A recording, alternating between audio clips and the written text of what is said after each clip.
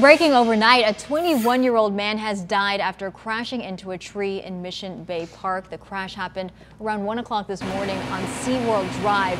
Police say the driver was heading east when he lost control of his SUV, hitting a street light before hitting that tree. Police say he died on impact. Roads were closed as crews worked on the scene, but they have since reopened. No word yet if alcohol or drugs played a factor.